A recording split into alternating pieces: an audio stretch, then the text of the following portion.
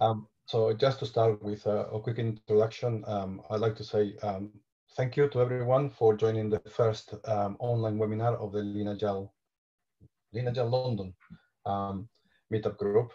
Um, we wanted to do an experiment which was trying to get people that are difficult to get to London to be able to talk, to get people into our into our into our offices, into our houses, and um, also help minimize our carbon footprint.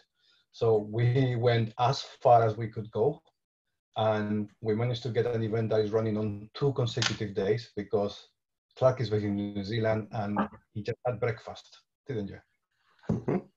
So it's Friday morning over there, Thursday evening here in London. Um, and it's an absolute honor to, to have Clarke Ching joining us for the first time. I stop there, it will be just great. Um, go for it, Clarke, it's all yours. Hi, it's all mine. Good evening, everyone. Yeah, so uh, I'm in New Zealand, which, as you can see from the map here, um, doesn't actually exist, but I, I, promise I am. And I'm also here from the future, uh, which does exist, and you'll have it's a little bit cloudy today in the future. You've got something to look forward to. Right. So today we are talking about bottlenecks. Um, I'm going to start with a little trick question. And I'm not expecting any answers yet. Uh, I'll just show you a little bit more information, which will explain why it was a trick question uh, at the end uh, of the, the chat. Okay, so just imagine it's early in the morning, you're walking along, and uh, you're in a new town, uh, new city, and you're looking thinking, wow, I would really like um, a cup of coffee. And on one side of the road, you see the blue coffee shop, and it's only got two people standing in front of the till ordering. You think, hey, that's good. And you look across the road and you see the green coffee shop, and there's a whole lot of people waiting uh, to order. So, of course, uh, you go to the blue coffee shop or do you? Uh, because if the green coffee shop uh, has so many customers standing outside it, what do they know that uh, the uh, people that are going to the blue coffee shop don't know? So this is a bottleneck problem. Um, queues are the symptoms of bottlenecks, waiting lines, waiting lists, queues, uh, and they're, they're kind of like the symptoms, and they're also usually the um, like at the scene of a crime, uh, they are the evidence that, that's left behind. So we can talk about bottlenecks, how to go faster, how to get more productivity by thinking rather than working harder, and um, yeah, we'll just see how we go here. So uh, that's the book I wrote, The Bottleneck Rules. Um, you also may know me from uh, uh, Rolling Rocks Downhill, which uh, both of these books are about uh, a thing called the theory of constraints. That I've tried to um, not overemphasize that they're uh, the theory of constraints because really they're, they're just about common sense. But it's the common sense you can't see until you can see it and have some, someone's pointed it out to you.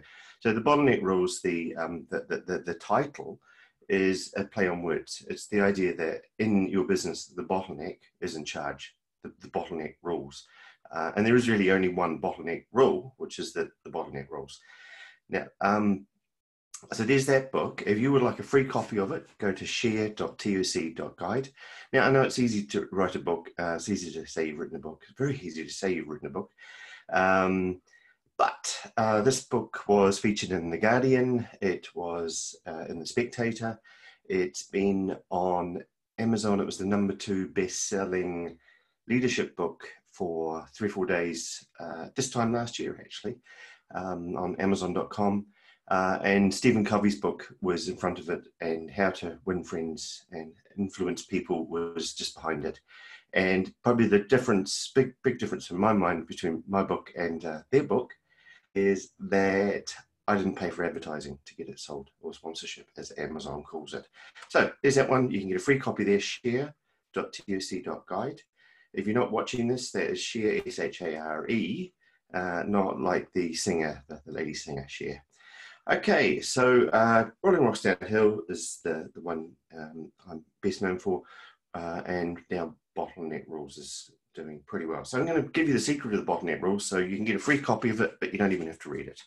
Uh, right, now, that there in front of us is what's known as a bottle, uh, and that bit there is also known as a bottle.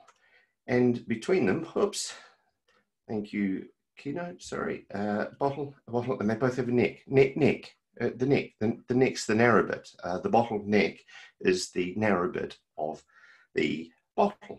So literally that's what it means. It's the narrow bit uh, in the flow. Now there's a reason if you look at these two bottles here, one of them's wine um, and the other one is a hot chili sauce. Really, really, really uh, both fantastic products here. Uh, both made locally. The only trouble with these is if they had the same bottleneck size, uh, it'd be a disaster. Like if the um, the, the red wine uh, had a narrow neck, you'd um, not get much wine out of it and possibly die of sobriety. Uh, and the uh, chili pepper bottle, if it had a big thick neck, you go to pour it on your food um, and you would ruin it with uh, piping hot, delicious sauce. So actually, bottlenecks, uh, if you don't know they're there in your system and they're hidden, they're bad. But if they're deliberate like this, they're good. Um, and we'll, we'll, we'll, yeah, we'll talk more about that as we go. So I would like to take you back to Dublin in 1999, which is when I uh, left New Zealand for two years and ended up uh, getting married in Dublin and then moving to um, Edinburgh a few years later, uh, where I lived. And we, we, just moved back to New Zealand two or three years ago. So this Clarke, was weird. Clarke, just a quick Hello? one. Your slides don't seem to be changing. In the, the what, sorry? The slides don't seem to be changing. Oh. We still have your intro cool. slide. I'll stop sharing them and then I'll start sharing them again. Okay. All right. That any better? Let's see. Better. Change one and see. Right. Is that changing? Right. Just a quick uh, read. There's me, Bottleneck Rules. There's a map of the world without New Zealand on it. There's the two queues, the blue shop uh, with very few people in front of it, and the green shop with a lot of people. Uh, there's the book, and there is share.toc.guide uh, free copy of that book. Uh, and there's a couple of other books. Right, and we're nearly back where we were again. Ah, and now two bottles, one with a wider neck and one with a thinner neck. And Dublin, yay! Okay, thanks for that, Jose. Okay, so um, this is the first time I tackled a bottleneck in the wild for real. Um, and I'll just tell it to you because it's a, a, really startlingly obvious example when you see it, but this, the bottleneck was very well hidden at the time uh, in, in real life. So I just need to get rid of this, this blocking this. Um, the situation here was that this was a new telecoms company that was competing against uh, the Irish equivalent of BT. And uh, the accounts department um, had set up a few years previously a software system to do their accounts, but the company had been very successful and grown enormously and was building a fiber optic network across all of Ireland. And it was all going well, um, the fiber optic network, except that the suppliers, the vendors, the, the people who were working on it um, weren't being paid and they had threatened to, um, to, to, to stop working on it uh, and they were going to down tools. And this was uh, devastating news for the company. Uh, and, and the problem was that the accounting department just didn't have the capacity inside it uh, to process all of the invoices that they were getting through. So I'm just going to talk you through quickly the process. Um, there, actually, there, no, there are a few other bad things that are happening. The accountants are really stressed because the suppliers are ringing in saying, hey guys, pay me my money. And they were very, very angry conversations. And these were just um, ordinary people, their accountants, they were leaving because they, they, they, didn't want to work in a place like that. And they had options. And one day I got, uh, uh, her, her, name was Sinead. Um, she was the, in charge of the accountants. Uh, she came up to me and just was really sad. She just told me her this little story about how everything was collapsing around her. And she said, no matter how hard we work, we can't keep up. So, so I asked her um, if she could just describe her process because a few years prior to this, I'd read this book called The Goal, which is uh, the original theory of constraints book, a big, thick novel, a little bit um, outdated now, but uh, um, it was a great book at the time. Um, and, and, it still is a great book, to be fair. And I'd read this book, and it was about a factory that had a bottleneck in it. And, and just the way she's talking, it, it sounded very similar, um, even though this was a bunch of accountants, not, not a factory. So I asked her to describe her process, and she said there were five steps. She held her hand up in the air. And then she said, um, I'll tell you about them. So she described each of the five steps. And the first one started with the office junior opening the, the um, collecting and then opening the invoices that had been posted into the mailroom. And the last one was a, where they pushed the button and checks were printed and sent out. And so the rest was blah, blah, blah, uh, was counting stuff. Um, so I uh, just asked her very tentatively, because this was brand new to me. Um, excuse me. How many? Uh, I'm sorry here. I'm having technical difficulties with my mouse. It's just decided to stop working.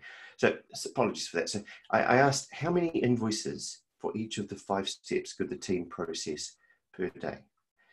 And she came up with the first step. There was easily 90 perhaps, the second one 40, uh, the third one 60, uh, the next one 20, and the next one, because it was an automated process, say 20,000. So she, she gave me these numbers and we rattled around them, um, with them for just a few moments. She wrote them out on the board uh, and then she goes, Oh my God. And, and I hope it's just as clear to you uh, that the fourth step there with 20 um, was a slower step in the flow. And so uh, the entire process was only working at the speed of that step because it was a bottleneck. So it didn't matter if the, um, the, the, finger that's got 60 on it at the moment, uh, if you suddenly looked and you could improve that to get 90, um, you'd still only get 20 out of that system each day because of the fourth step. So it's kind of fairly obvious. And she, she, I remember seeing her and her jaw dropped and she goes, Oh my God, oh my God. There's, there's, there's, it's like it's like a bottleneck. It's like that one step. And then she said, and I know how to fix that because I do that step. Uh, and she was the most senior uh, accountant. So all she did was just lock herself in a room um, for four, six hours on, on, on, the following day uh, and then for just a, a, dedicated time each day after that. And she just increased her capacity from 20 up to about um, 50. Um, and suddenly the, the, the whole, uh, the entire process sped up from uh, 20 to 40, which was the, the next um, bottleneck.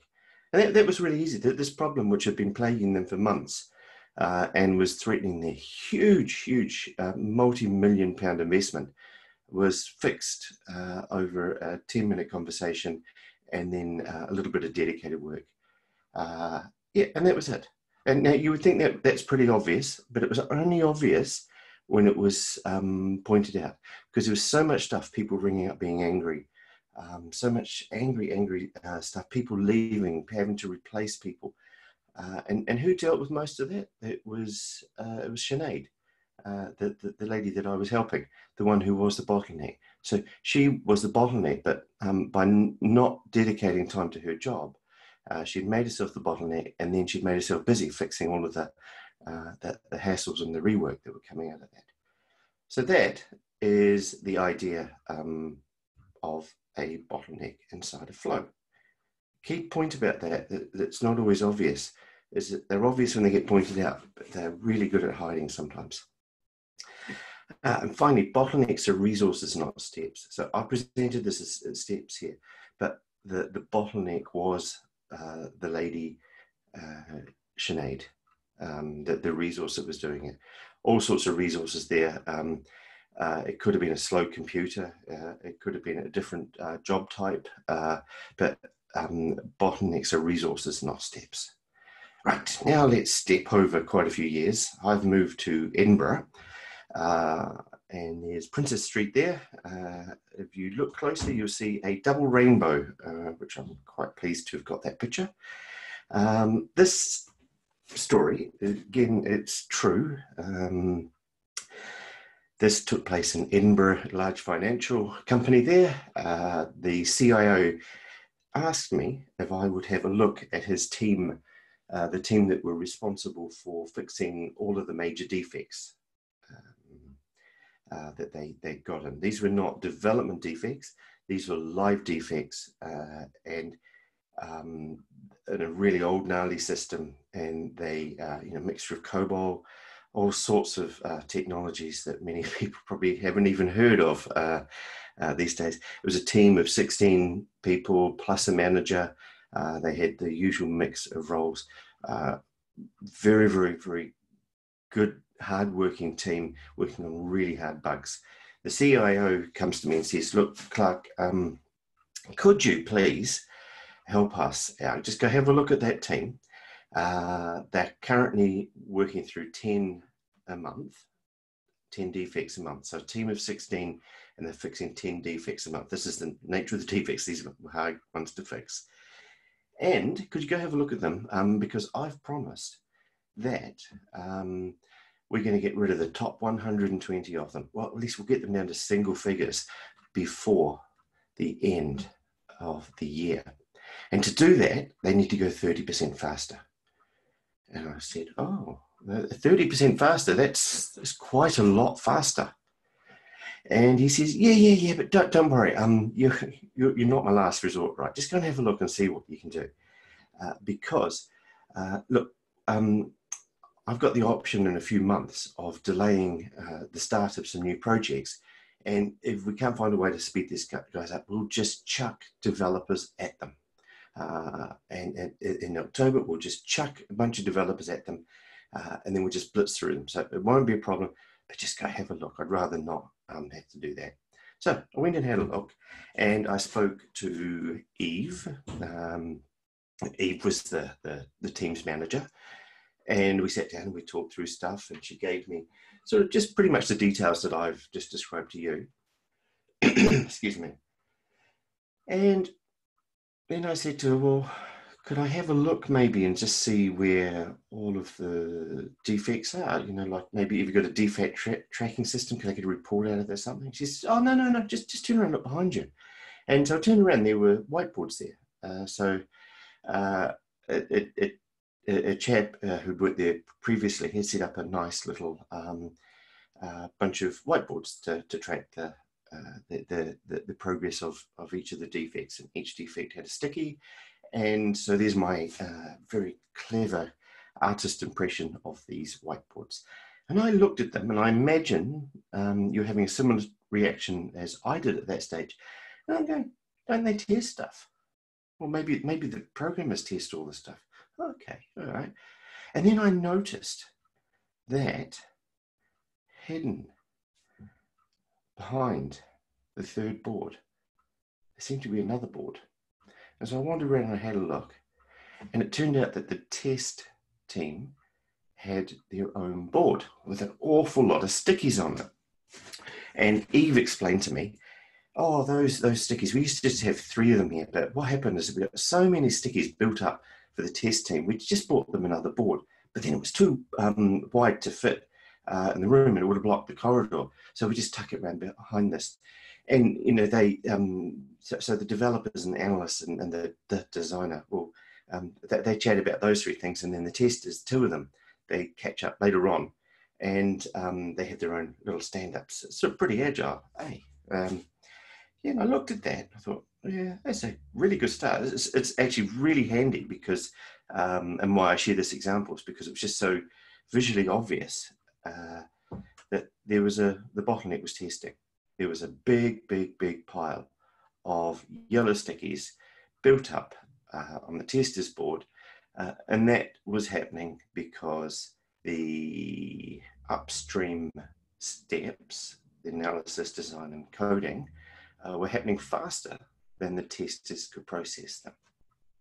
So there was a bottleneck. So even I sat down and I told her about Sinead in Ireland all those years ago, and I told her that story. And uh, Sinead, um, sorry, I just there was just a noise outside. Apologies for that. And uh, Eve, sorry, said, "Oh, I'll, I'll, run through and I can roughly guess the, um, the, the, the numbers for each of these stages," which wasn't really necessary because the the evidence it was pretty clear that um, what was happening. But she ran through anyway, just for, for the comfort of it. Uh, 20 analysis per month. She thought, yeah, that's the, what they could do if they wanted to. 25 design, 15 programming, and obviously 10 a month of test. And she knew it would be 10 a month because that was what the whole team was accomplishing, and they were, um, you know, the last step. So she goes and she looks at that and goes, oh, okay, yeah. Test is definitely the slowest step, isn't it? Yep. Uh, and that's why there's this big build up, you know, kind of like a, a, a lot of um, patients in the emergency room uh, on a Friday night, built up, waiting in front of the bottleneck. Okay, all right, that's interesting. And then she said, right, um, let's get our team together and just run through this and see what we can do. So rather than doing that straight away, I wandered around and I just had a few chats with people because what I found is, I think this is a, rule, but I, I, I try and disprove it, is that if people don't know where their bottleneck is, uh, then it's managing them, they're not managing it. Uh, and a lot of the problems that they're having are usually caused because they have an invisible bottleneck in their system. Uh, so I went off and I wandered around, I talked to people and try and prove that uh, wrong, that, um, you, you, know, that, that, that thing about the guy that has the hammer um, only sort of sees nails. I, I, I, see bottlenecks and I wanted to make sure it wasn't that. But I wandered around and it was definitely that. So I got everyone in the room, we talked about it. There were um, 17, 18, including me, all crammed into a conference room, and we just sort of started talking about stuff. And then uh, I, I, got to a point where I said, "Look, I, I need to tell you a, a joke um, to make this clear." And um, here goes the joke. I'll point out the bit where you're supposed to laugh, just in case you don't. Right. So the buffalo story started out as an email joke, and it was an imagined story. Sorry, on Cheers, the TV show. Uh, it never actually happened in the, the, the real uh, TV show, but in the early 2000s, late 90s, when jokes traveled the world via email, uh, it was um, th- this came around and it sums up the, the core idea of the theory of constraints um, magnificently, I think.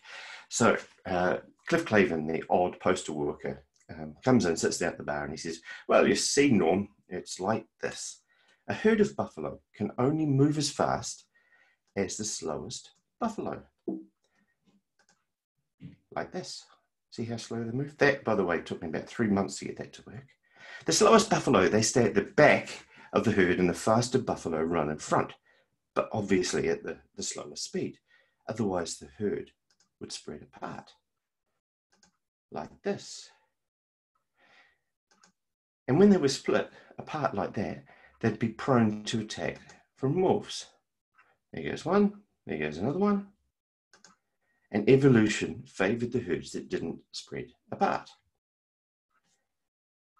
And when these tightly packed herds were hunted, the wolves killed the slowest and the weakest buffalo.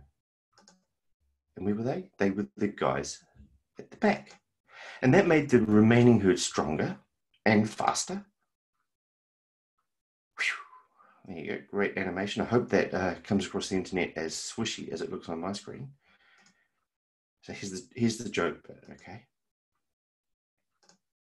In much the same way, the human brain can only operate as fast as the slowest brain cells. That's a well established scientific fact, I think. And now, as we know, excessive intake of alcohol kills brain cells. But naturally, it attacks the slowest and the weakest brain cells first, of course. What else would you expect? And in this way, regular consumption of beer eliminates the weaker brain cells, making the brain a faster and more efficient machine. And that Norm is why you always feel smarter after a few beers. Yay! So there you go. So I tell them this little joke. Uh, they have a little bit of a laugh and a, and a snigger. Um, they find this uh, mildly uh, amusing. And of course, they point out one or two people who um, like their beer, and, and they just have a bit of a giggle together. Uh, and the, the, whole mood of the, the, the meeting uh, changes. Uh, and, and that's the funny thing I find with this joke when people have a laugh, they start to get a little bit more collaborative because they're laughing together. They, they, they start getting, their, their mind seems to switch into a more creative problem solving mode. Uh, and, and, this almost always happens. So we switch back uh, to our problem. And apologies, I'm just moving things from Zoom here around on my screen, so I don't, uh, I'm, I'm, just losing some of the words. There we go, I can see now. So we switch back, uh, say, right, okay, you heard about the slowest uh, buffalo, right? Yeah. Now, where's your slowest buffalo? And they all go, oh, it's testers, obviously. So obviously the, the testers, and they always point. And then someone, and, and if this was a live session, someone would say this now, and I know at least five of you are thinking it. Ah, so why don't we shoot the the the, uh, the testers then? And of course, in real life, that's what someone said. They had a bit of a laugh. And, and just recently, someone suggested that if they want to work with um, the, the, the, theory properly, they should actually feed the testers more beer, and, and that'll probably make them go faster.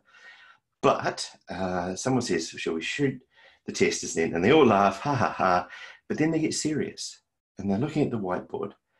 And now you see here a, um, uh, the steps folding out below you on the, the bottom of the screen. This find your bottleneck is the first step.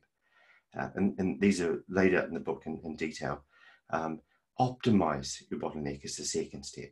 So they found the bottleneck, they go, well, how can we make the testers go faster?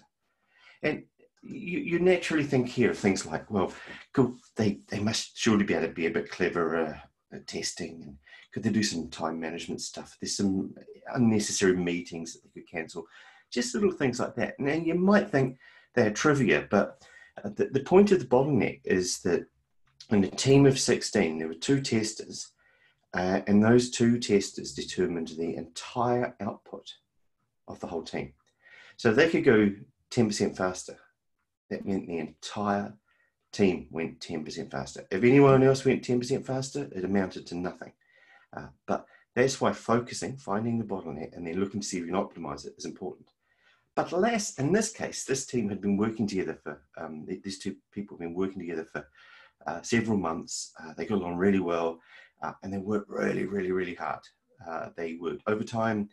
They had taken, stripped every ounce of fat off their working practices, so there was no chance to optimize, which was disappointing because usually there is. But never fear, we haven't finished yet. So we ran through that, spent 10 minutes talking about things. Uh, could we optimize? And then eventually I said, well, how can the faster buffalo help out? And they were like, they're faster buffalo. Well, you, you guys that aren't the bottleneck, the non-bottlenecks, pretty much everyone else, is there a way you could help? And immediately the testers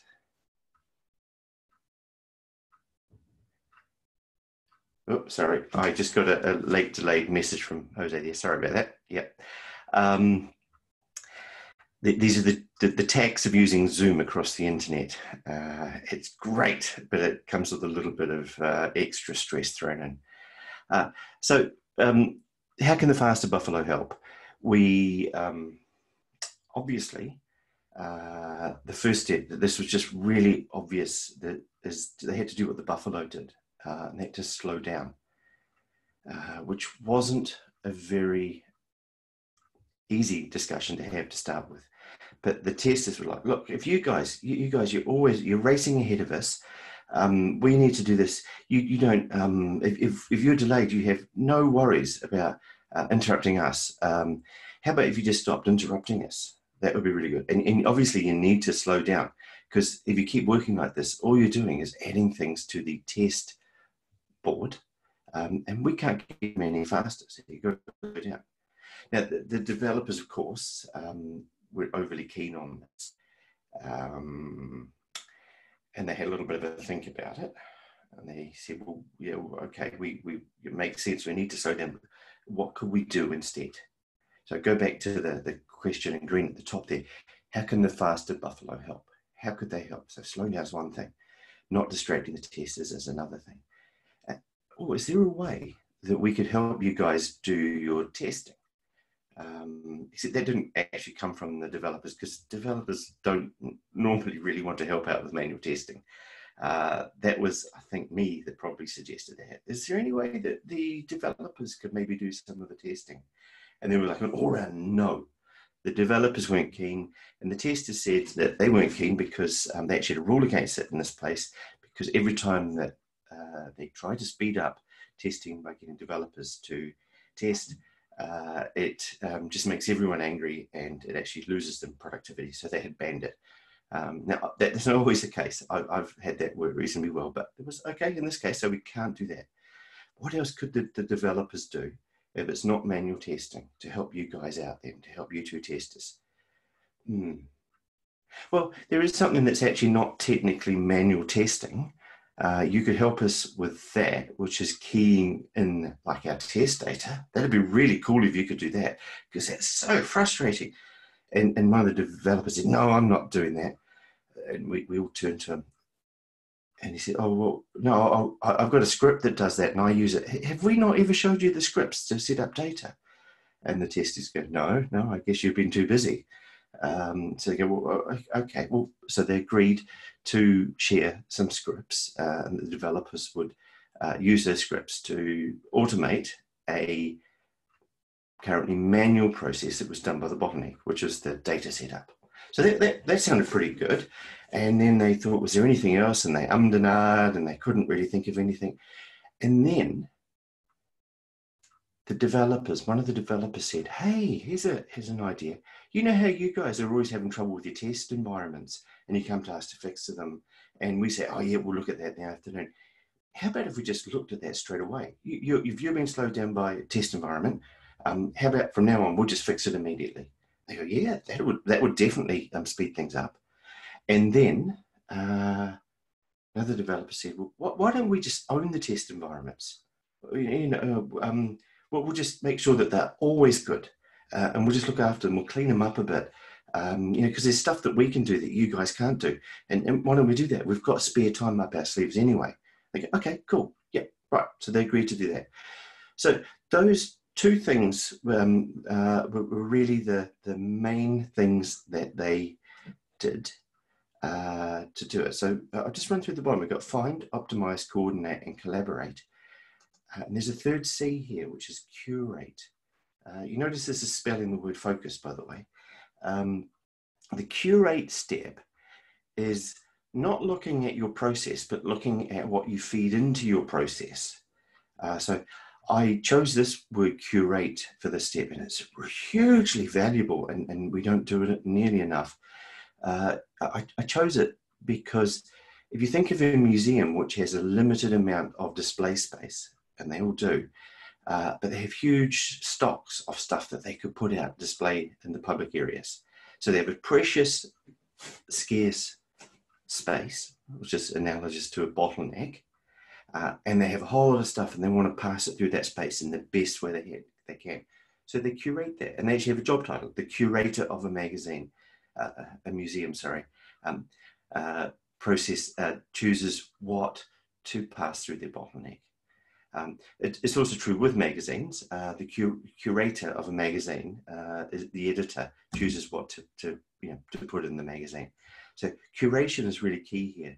And in agile environments, this is the stuff that we do with our backlog uh, to make sure that the right stuff's going into the team. Now, I want to add a little sort of a, a little slant to this because um, when we curate, we don't normally think of um, so when we prioritize our backlog, we don't normally take into account where the bottleneck is. So just, just with this example, for instance, um, they wanted to get through these things quickly. Um, and they knew that they had 120 and they wanted to get it down below 10. So uh, what they did is they worked through, they tidied up all of the stuff that are on the boards and getting ready. And then they worked through and they figured out which ones would be easy to test uh, and which ones would be harder to test. Uh, and they put the ones that were hard and confusing to test at the bottom, uh, and they moved the other ones up uh, to the top. Uh, and then they found some that they thought would be diabolical to test, so they moved them right to the bottom and put them in their little buffer of 10 that they wouldn't complete by the end of the year. Uh, and they did a whole lot of stuff, but not just assuming um, that it was the excuse me the development effort uh, that would help in the prioritizing. But in this case, because the bottleneck wasn't development, um, and they had plenty of spare programmer capacity, uh, they prioritized according to testing. And now just imagine if you're in a development um, environment and for some reason testing is your bottleneck and you've got a story come in, uh, it's a reasonably chunky story, and there's two ways of doing it. One which requires a lot of developer effort, uh, and the other one which require uh, sorry a lot of development effort, but it's very easy to test, versus one that requires a tiny bit of developer effort and a lot of testing. If, testing is your bottleneck, you should take the solution, um, considering other things around it, of course, but you should take the solution that um, requires the least amount of testing time. Uh, if developers were the bottleneck and you had spare testing capacity, you'd flip it, flip it around the other way. So this is a really um, important point there, uh, is that you prioritize according to your bottleneck, not just according to value and the total amount of effort and that makes a huge difference. So that, that's curation. There's a whole lot more that goes with uh, curation in the real world that's fascinating. Um, but uh, we will move on because the next step is to upgrade. Now, this was the obvious um, first choice in this case, and, in different circumstances, th- th- this is actually what I would, would have I would have jumped straight to upgrade, and I hired another tester um, and, and, just it's not balanced correctly. They just needed one more tester. That was really uh, an obvious, easy solution. But as it turned out, these testers uh, in this particular case were a, a, very scarce resource, and they couldn't hire people to do this job because the ramp up time for them once they started till they got productive uh, was many months. So they would have actually slowed down as they were assisting new people to come on board.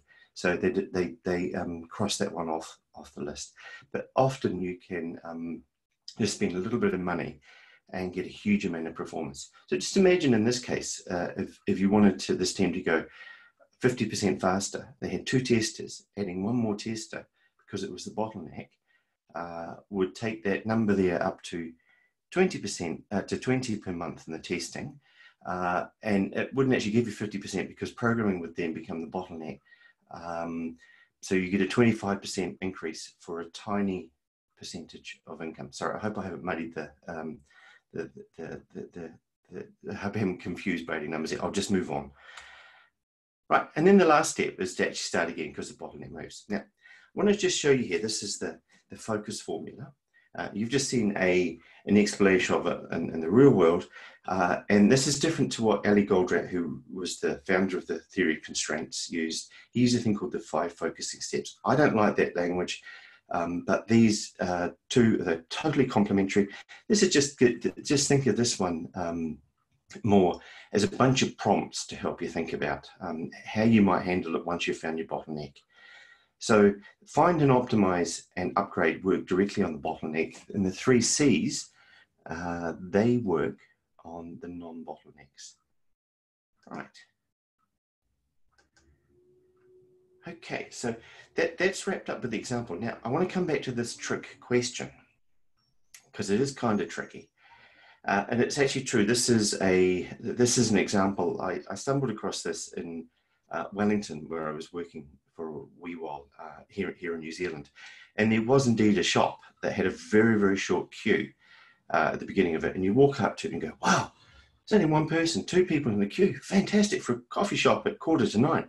Well, and then you go in, they would rush over and they would take your order.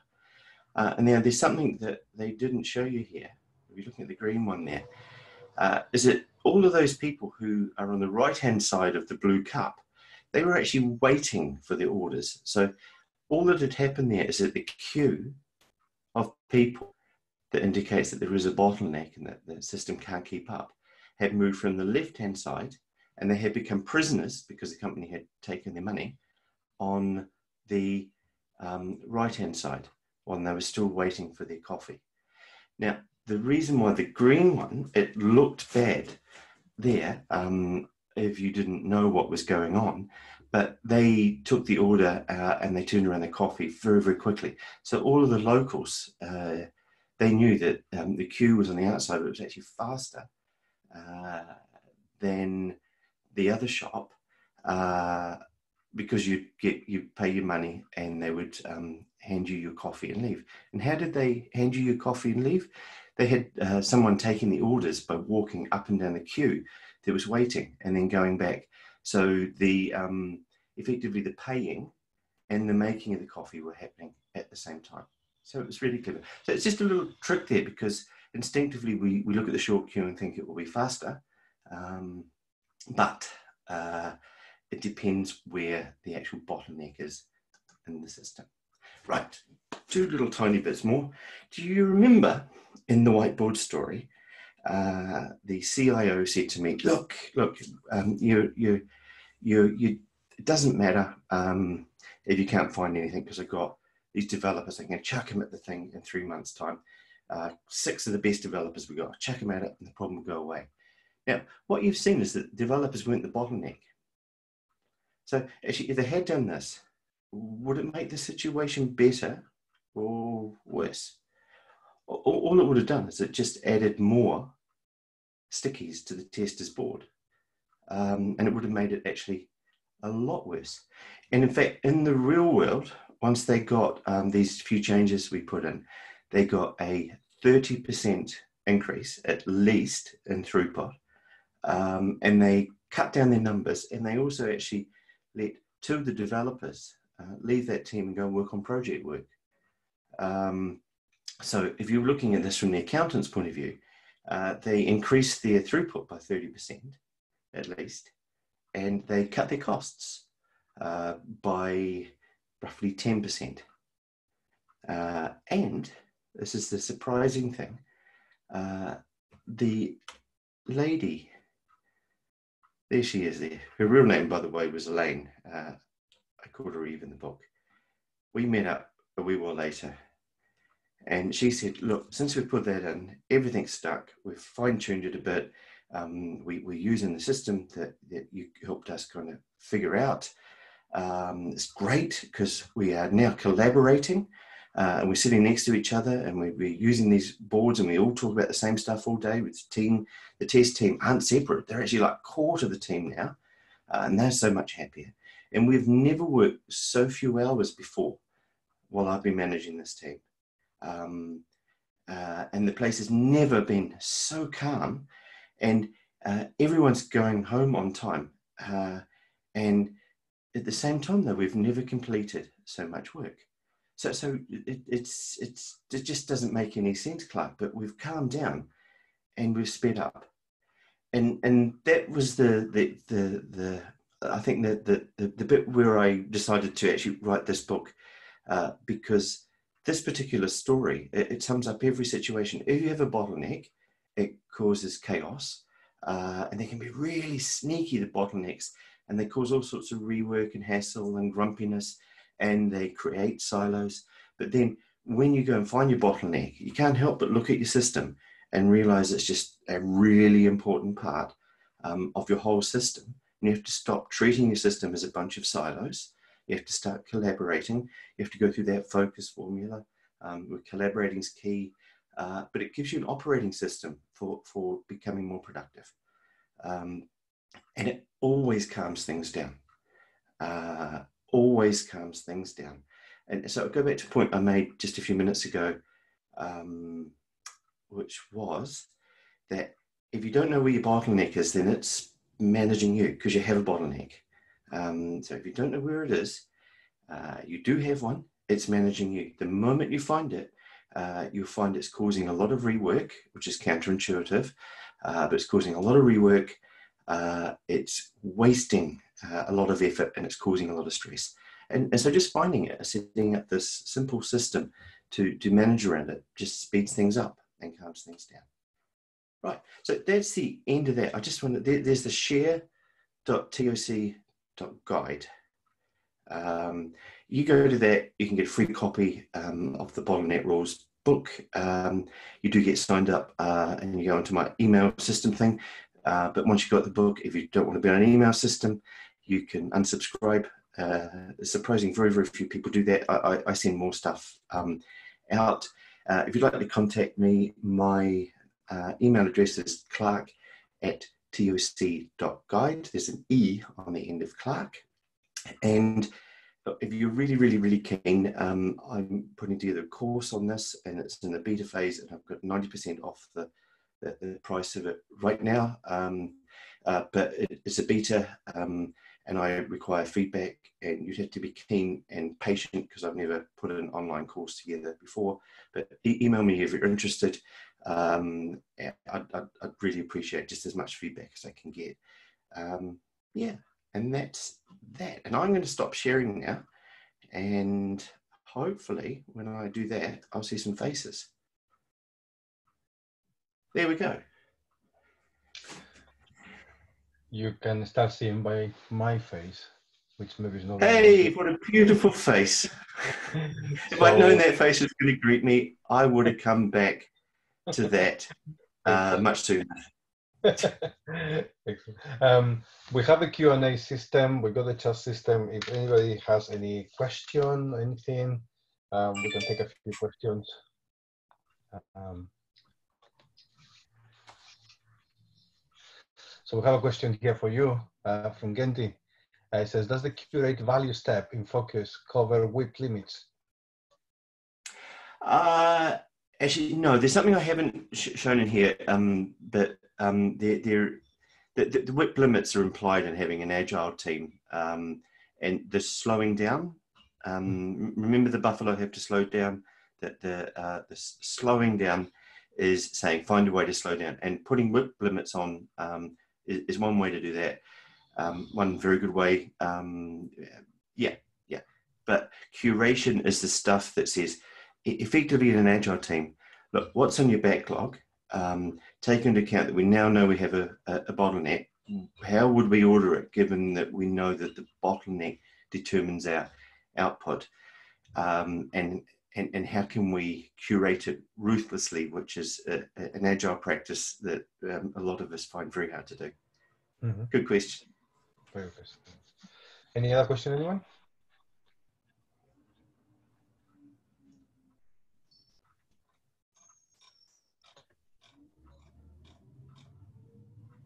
I see a lot of people have just signed up for the book there. I get little email notifications. I, I've got to say go that, um, I've got to say that, that the, the book is, is fabulous and it's uh, another before when you had rolling, rolling hills, that rolling rocks downhill.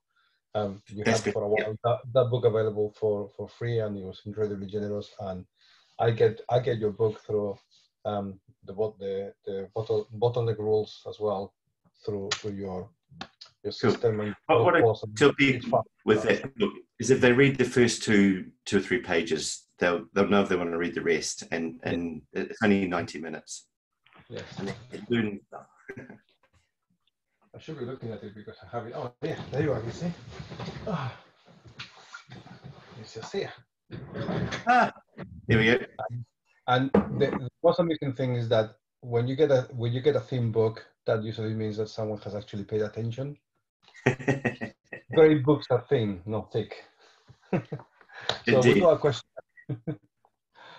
uh, this was the question. Have you had have you had situations where people are unwilling to acknowledge the bottleneck is there?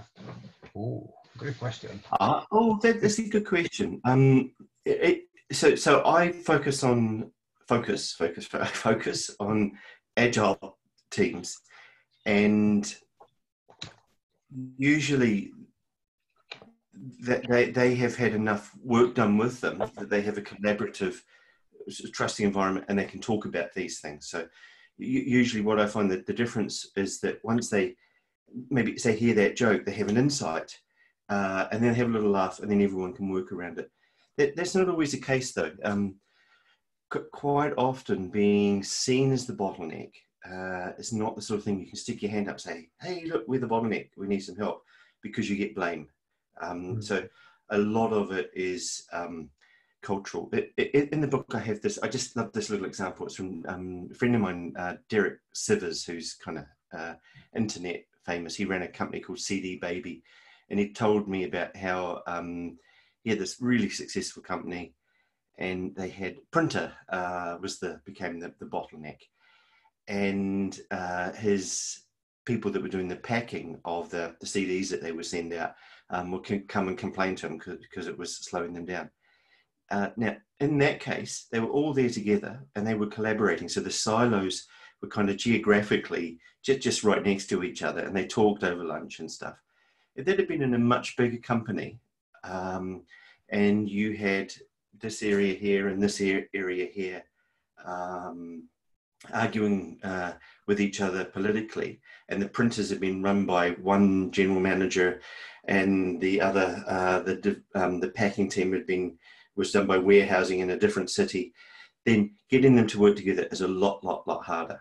Um, but that, that's often the skill of the process of something like this is, is working through and getting people to be able to see that whole system um, and to just go, oh, look, if we tweak that there, it'll make it better for everyone.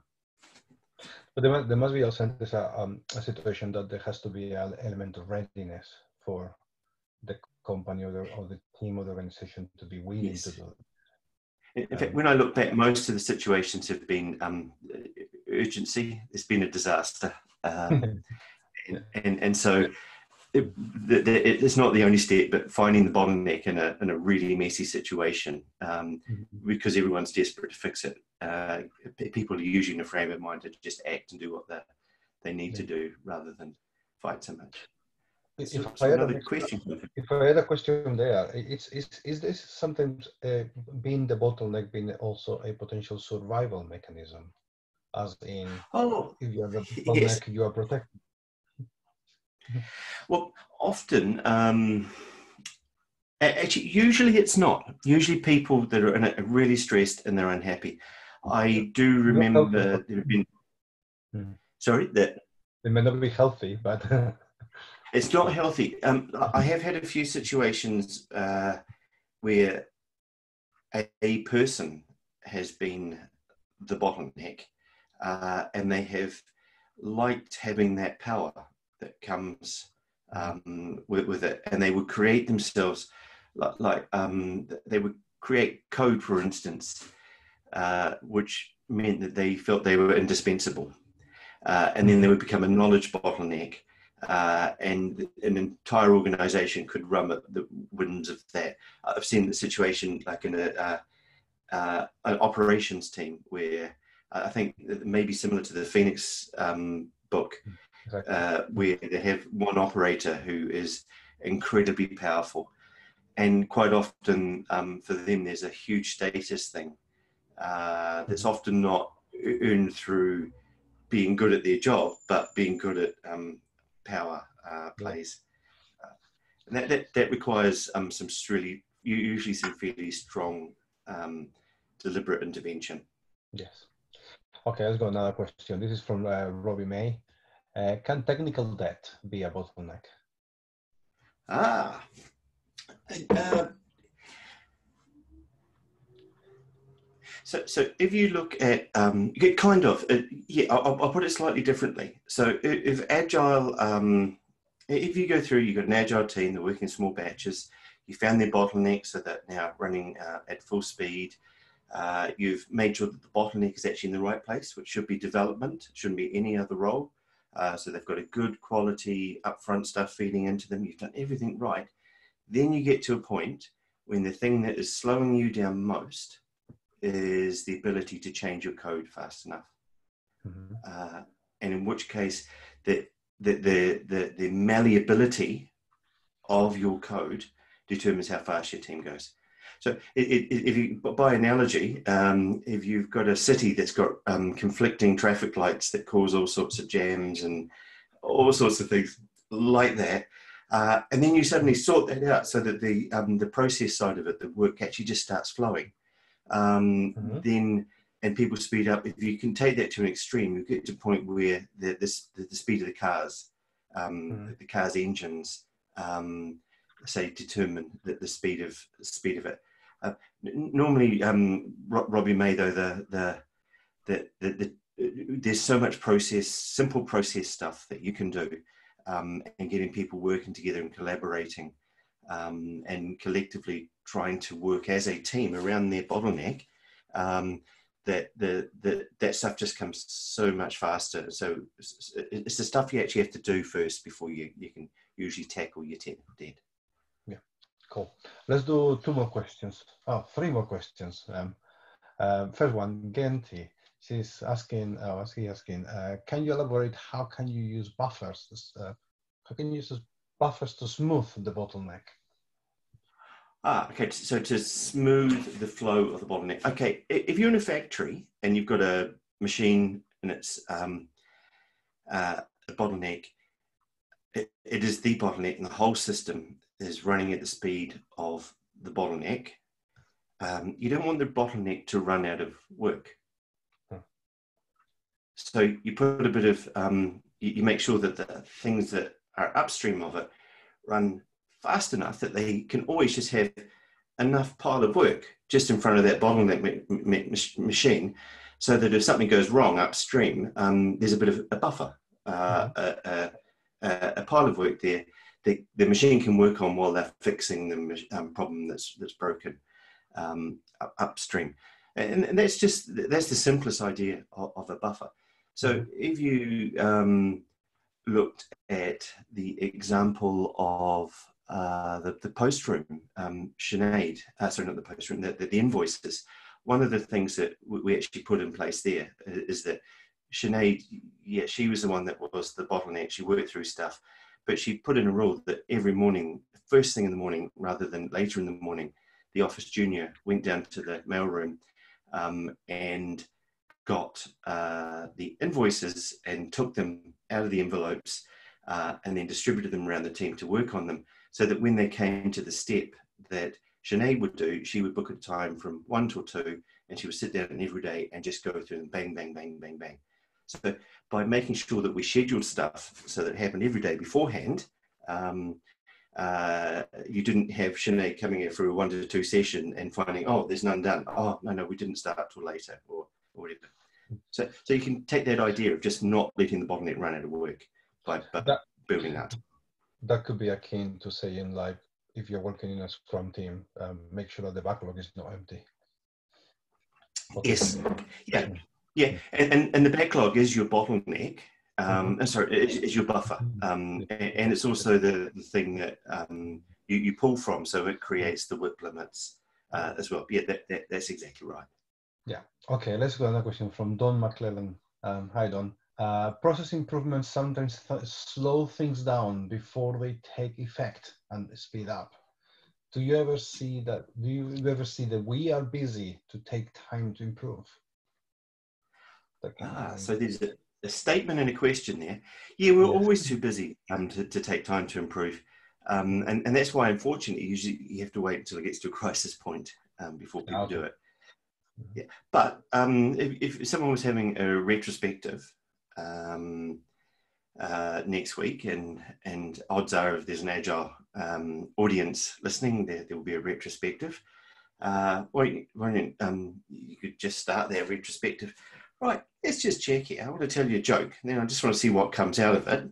Um, and then they'll talk through, and they'll almost always find uh, that testing is actually uh, in uh, in a newish agile team that the bottleneck. And they go, oh, okay, so what do we have to do to, to do that? And I've had the same kind of discussion um, that, that, that I had, though, um, yeah, yeah. So, so people don't like to Im- uh, improve. It doesn't take long. The thing with the bottleneck is it, it takes such a tiny amount of time, um, proportionate to the um, huge improvements that you get.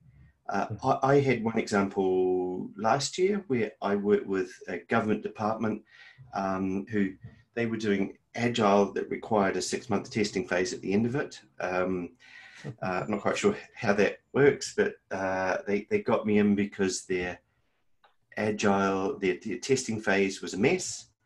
Uh, and it was a government department, and the head of that department had realized, oh, uh, if this testing keeps at this rate, then we're going to be we're running way, way, way behind. Uh, and then he would have to go speak to the prime minister uh, and to the minister of finance and explain what was going on because it had all sorts of um, cost and, uh, and, and delivery um, implications. Uh, it, was, it, was, a real mess. And so I sat down with one of his um, guys, and over about two hours, we, we just drew out the, their testing process. We identified, this was on Thursday afternoon, we identified um, where their bottleneck was inside their testing process, which is much, much harder to do than it is in an agile team. Uh, we found one little point where it was.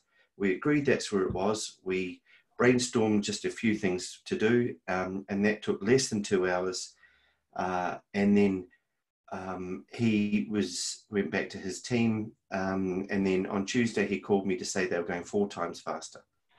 Uh, so, so, that's unusual. Normally it's about 20, 30, 40% faster, but this was four times faster for the sake of a two-hour meeting.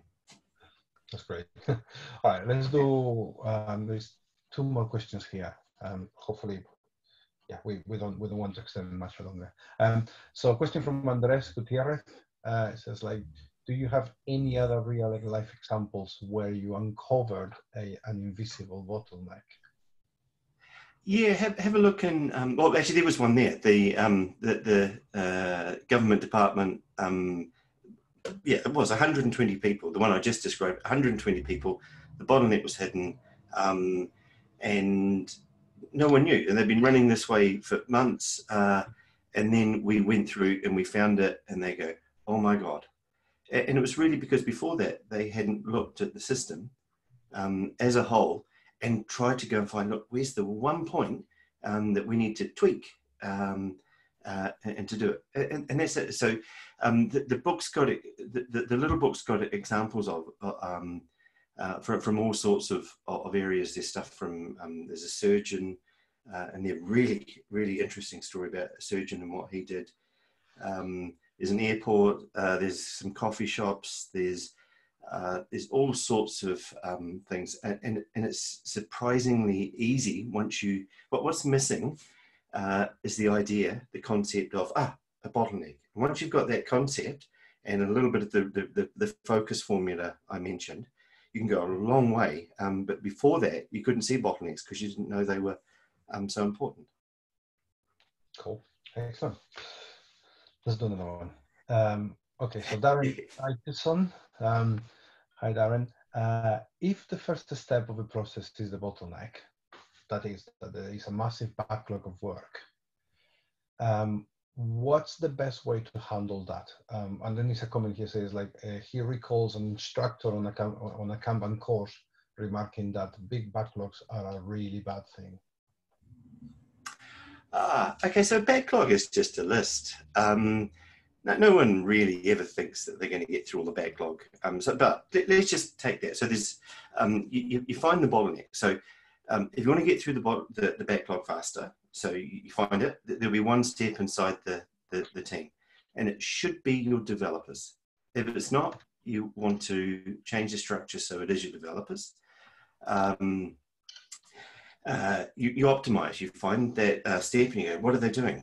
And you go, oh, okay, they're doing this. And then you look at the coordination. How are they coordinating their work? And you go, well, that's interesting. This person um, needs it here, but um, all the other ones are, uh, there's, there's lots of little sort of coordination things that can, can uh, improve it.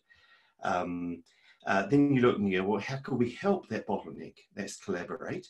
How could we um, curate the work, which is now we're talking about the backlog.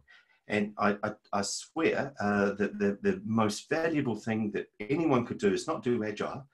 Um, agile's cool. I love it. Don't take me wrong. It's it's um, it's just the most amazing thing that ever. But don't start with that. Just Start by curating your backlog, sitting down um, with with your customers and saying, "Hey, look, if you want the most value out of this, we have to ruthlessly manage the scope uh, that you go into the team." Um, so why don't we uh, chop this thing down um, to quarter of the size and we'll have two backlogs. One is the one that's really important. Um, the other one is the stuff that we'll get to later. Uh, if you do that, then we can get the team running and you'll make so much more money than you ever thought. um, and we can get our agile team up and running. Um, but that ruthless prioritization uh, mm. tends not to happen, and, and it's a problem um, with, with, with agile. If you lift it up outside the team, is that the management skills to have those discussions often aren't there now, and because we're doing agile, often we don't value the management skills, and so those types of discussions don't happen. So often the actual manager is the bottleneck, often the tech leads. In fact, that's one thing I should say, just for people who are still here, um, which is most of you actually. See, um, it's not just the people who do the work that can be the bottleneck. I'm working um, with a, a company. I, I, do mentoring over Zoom with them, and uh, their bottleneck, and it's caused a huge amount of quality problems, uh, is technical lead capacity.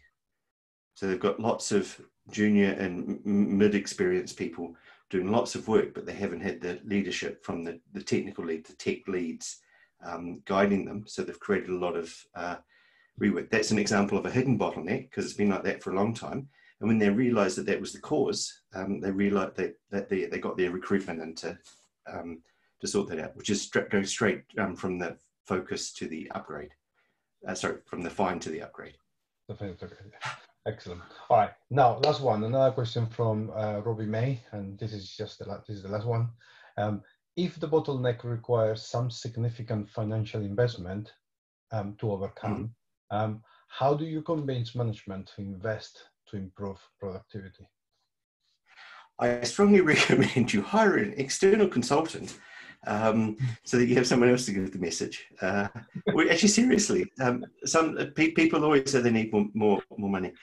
Now, actually, what, what I seriously recommend is that um, if you go through and you find your bottleneck and your system, um, spending money is not the first thing you do. There, there's um, Lord Rutherford, who, who actually just, he was born just around the corner from where I live here. Um, so he must be pretty cool. Um, we never met because he died a long, long time ago. He split the atom, um, and I think he was in Manchester at the time. So he was the, the he got the Nobel Prize for that. Uh, he there's some famous quote he has where he comes into the room and says, "Gentlemen, I have bad news. We've run out of money, so we are going to have to think." and what I have almost consistently found is that um, our, our instincts are to go from find the bottleneck to ah, upgrade it, spend money. Um, it, it doesn't take long. It takes a few hours to run through and use that focus formula to brainstorm a few ideas uh, and just use the, brain, the, the, the, focus formula as prompts to think, how could we coordinate? How, how could we, what could we do to collaborate? Just come up with a bunch of ideas. And usually the, the, the improvement that you get out of um, of, of just discussing it and, and, and trying to solve the problem before you just spend money um, is, is, is, is, huge. But if you go through that and you can't do it, you go, well, our only option is to go money, then that, that uh, is, is money. Then um, that's brilliant because you've gone through, you've got a coherent argument to, that you can explain to people, and then it becomes a decision that someone else has to make. I'll give it one really quick little example. It was a CEO at a hospital. Um, I spoke to him. He ran three hospitals in the UK. He got asked to um, build a new uh, sur- surgery for his ophthalmic surgeons in one of the hospitals. Uh, he um, went and he spoke to them. He looked at some numbers. They had a really nice long chat, and they discovered that they lost that, that they could increase their current capacity by 24% and reduce their working hours by putting two chairs outside the surgery room um, where the next passenger could wait. That's like the buffer.